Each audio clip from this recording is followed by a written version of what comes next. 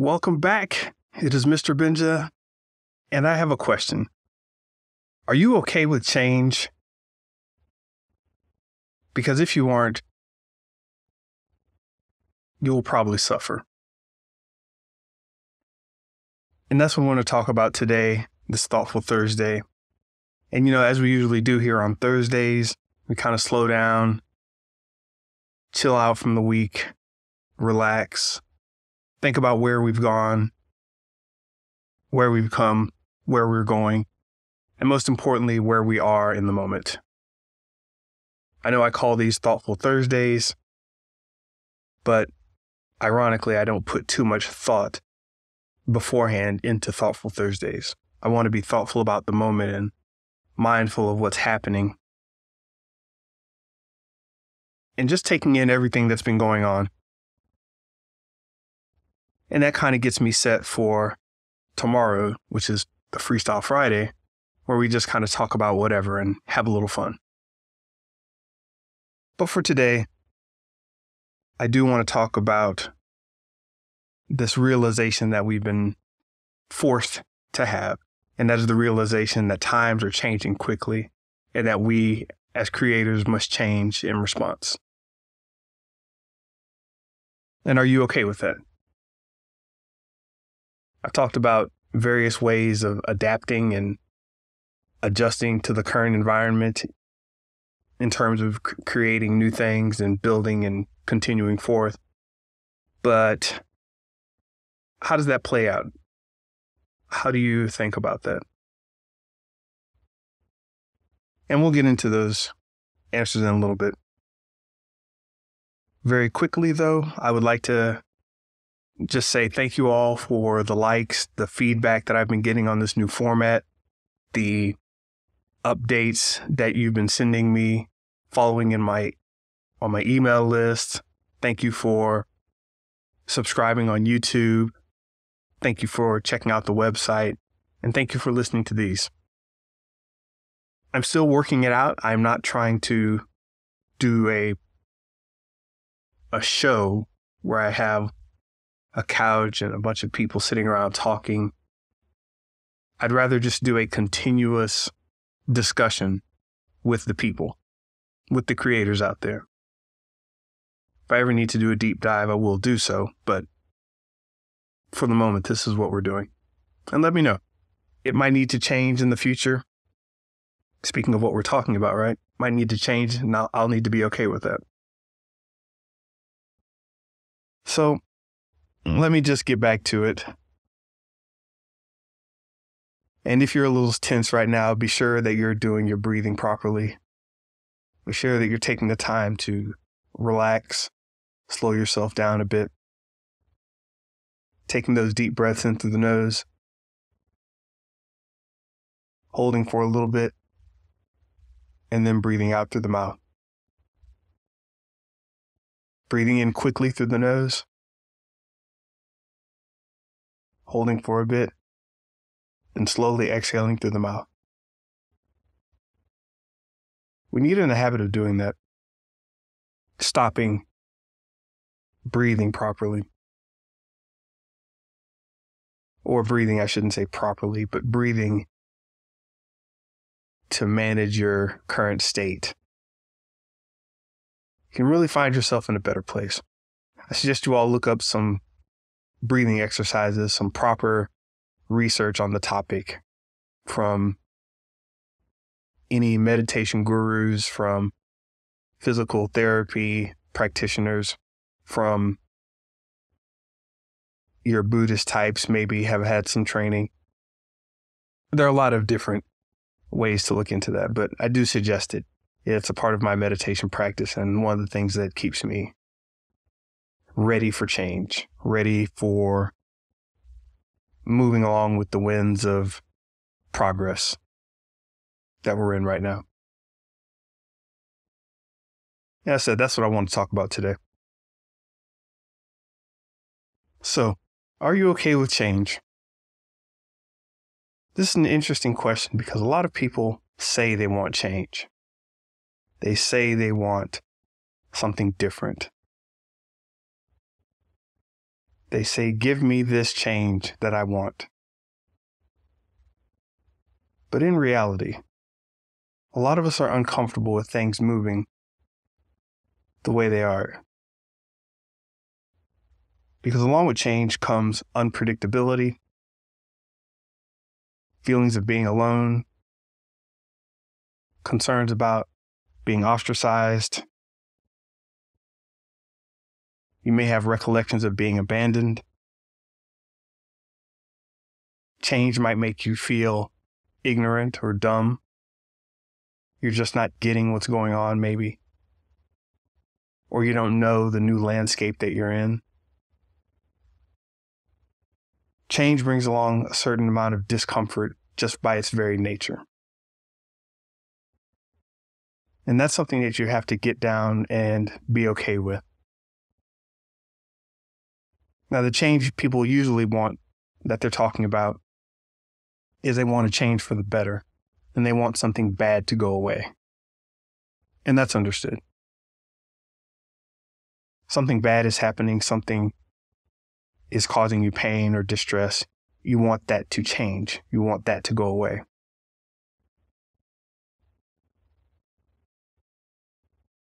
And you can work towards that. But the change we're talking about right now is the changing of the tides, the changing of the the winds, the changing of the sands underneath our feet. Right now, we're in a new era, a new era of technology, of social connection, of mental awareness, and collective and a collective emotional shift. I don't think that's anything groundbreaking, but something that should definitely be thought of and considered. Something that should be looked at. With any of your frustrations or or feelings or your current ways of looking at things, you're going to need to understand that where we are right now is a place that has a very rapid change built into it. The current times have change ingrained in their motion, in their revolutions. And can you deal with that? somebody asked me what the difference was in in terms of technology from this era from the previous era let's say back from when the internet started to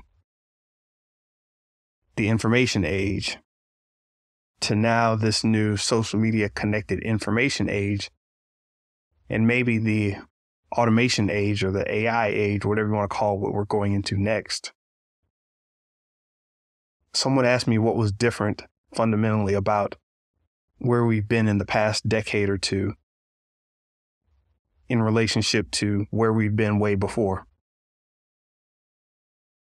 And we really are in a different place. What we have going on right now, what we have going on right now is a landscape that's able to be changed digitally. So, what does that mean to us? This means that we can change things literally at the speed of light, close to the speed of thought. You type something in a computer, it changes that thing immediately. Some files get updated, it changes that thing immediately. A profile is removed from a social media network, it changes the landscape immediately. Something goes viral, it changes the landscape immediately. And not only does it change it immediately, it changes it immediately and not necessarily permanently, which means you can go back to it or alter it or add to it or multiply it or divide it.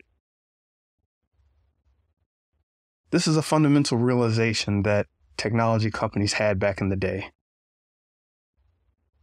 where they realized that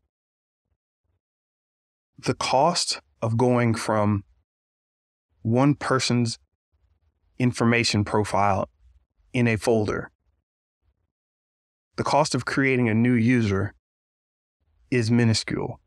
It's the act of literally copying a data folder and adding a new name to it. Social media engineers figured this out early. Developers figured this out very early. It's not like a car, right? If one person had a car, there was large difficulty in creating another car. It's like, well, that guy's got a car, good for him. But what about her? She doesn't have one. So now you have to go build one for her. Well, now she has a car and he has a car. Good for those two.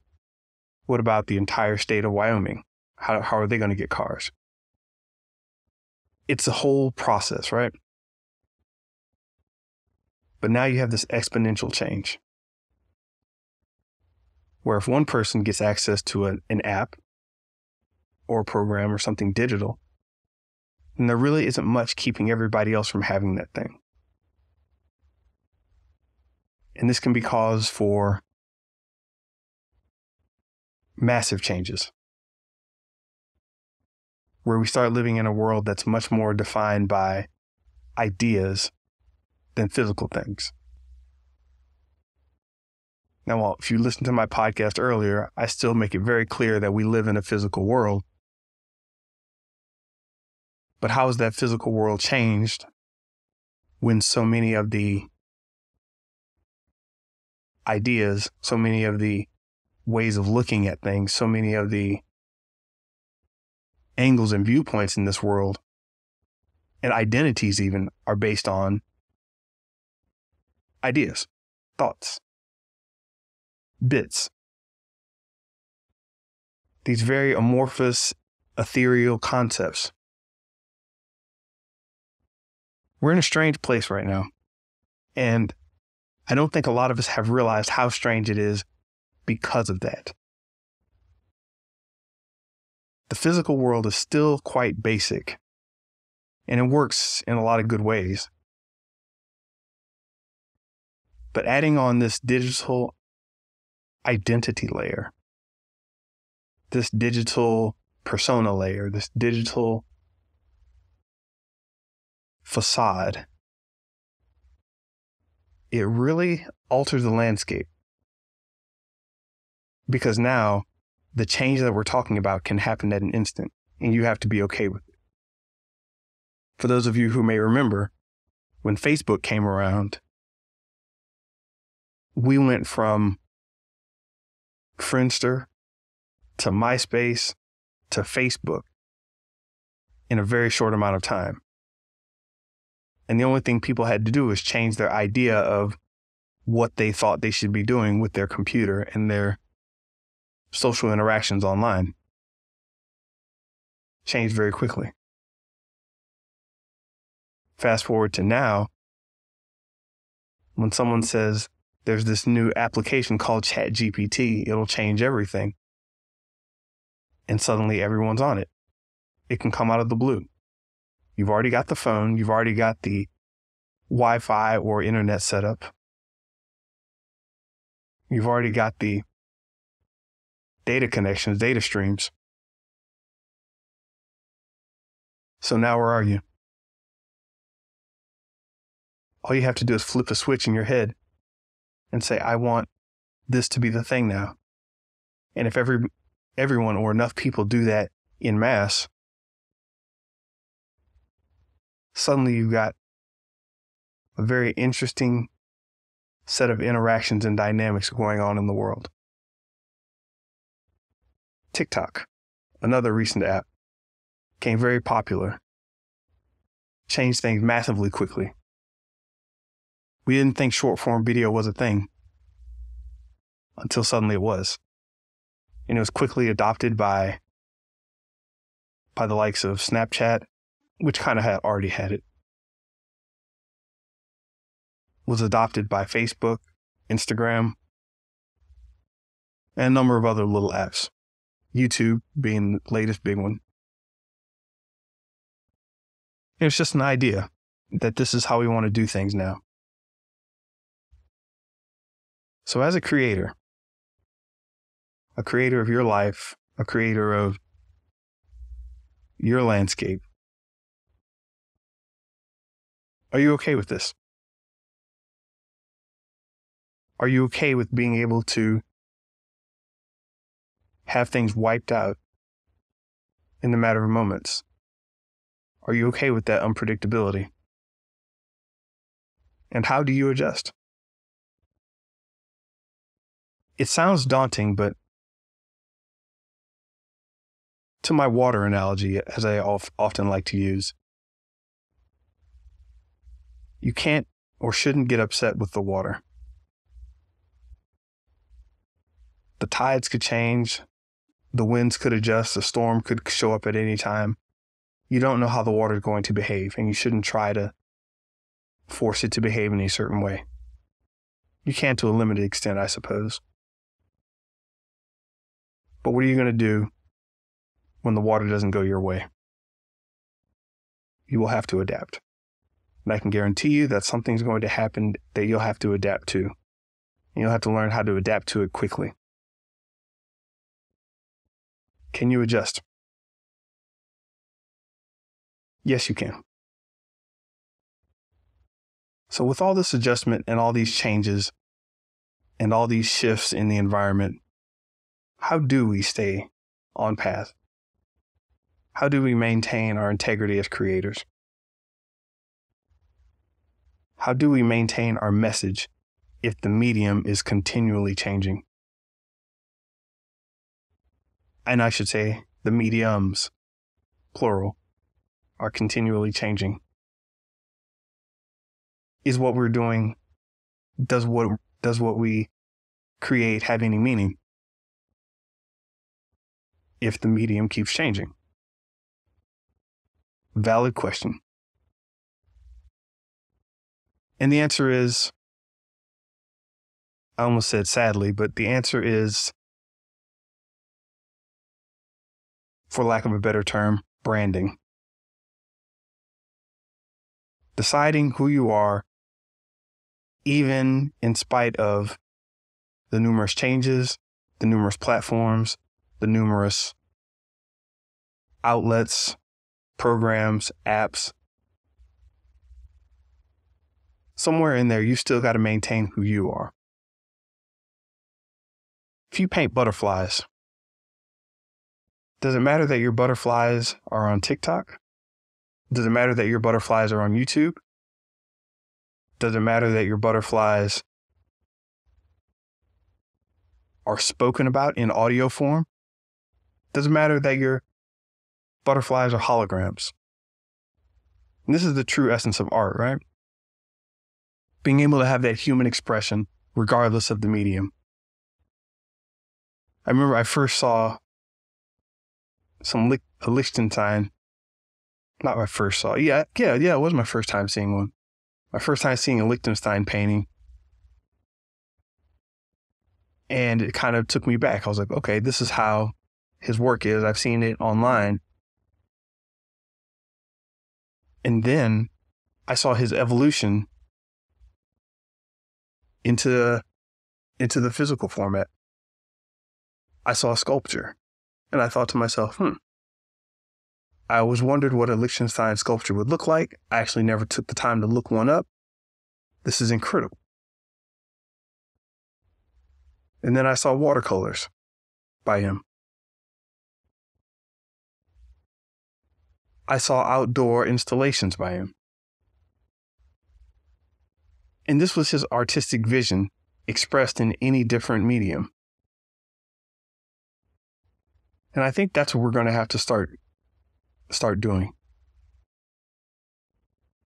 For all this time we've been trying to control the landscape, control the medium, control the actual experience, and that works well enough in the physical world.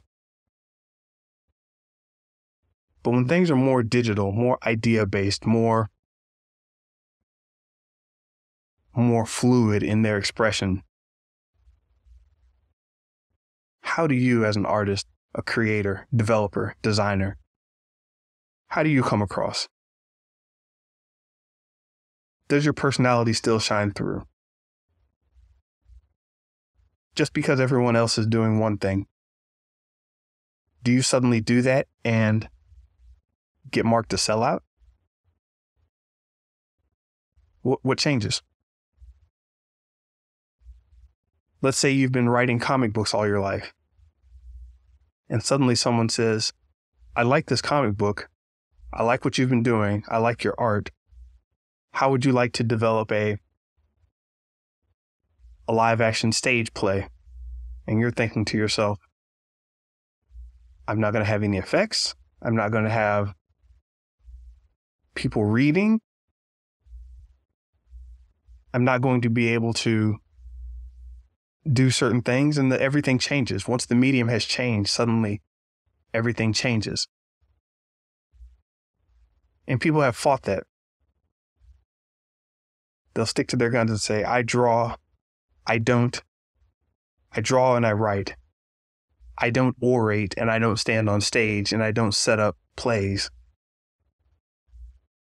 What do you think this is? Steve Rogers, the musical? It's an interesting thing we have to deal with, right? But that's where we are right now. And I think by embracing these current winds of change, by embracing ourselves as opposed to the medium, I really think that we could start moving forward in different ways. This is something I've been doing and I've been trying to deal with figuring out my personal brand, my way of expressing myself, my way of doing things, so that no matter where anybody sees me, they're like, there he is. That is Benja. Hopefully that comes across. Hopefully we can use this to embrace technology a little better and start to understand each other a little better, start to work with each other better, start to create a better world together. I'm looking forward to it actually. I'm looking forward to these changes. All these software tools seem daunting. Seems like a hassle to have to learn new tools, learn new ways of doing things. But maybe it isn't so much of a hassle. Maybe it's just that I need to let go of the idea that things are physically stuck and I can flip a switch and move those ideas into a new medium. Maybe I need to let go of the idea that I make this and start embracing more of I am this. And no matter what happens, I'll just be able to create where I am, wherever I am, whenever I am. And maybe things will just work out better. So I hope that made some type of sense to you. If you have any questions, comments. I definitely like to hear them. Because the times are changing, what are you going to do about it? Are you going to be able to adapt? And what's your plan and what's your feeling on the matter? Are you okay with it? Let me know if you have any problems, any issues, any any stumbling blocks. I actually want to hear what people are going through. I know I'm going through my own set of things. I'm just curious as to how other creators are dealing with these constant winds of change. From politics to science to social interactions to technology to food to health to religion to sports, entertainment, etc., finance. I think you can do good. I think I can too. So let's do it together. That's going to do it for me. Thank you all for interacting with us. Take what you've learned, apply it here and where appropriate, and just remember to create something good. See ya.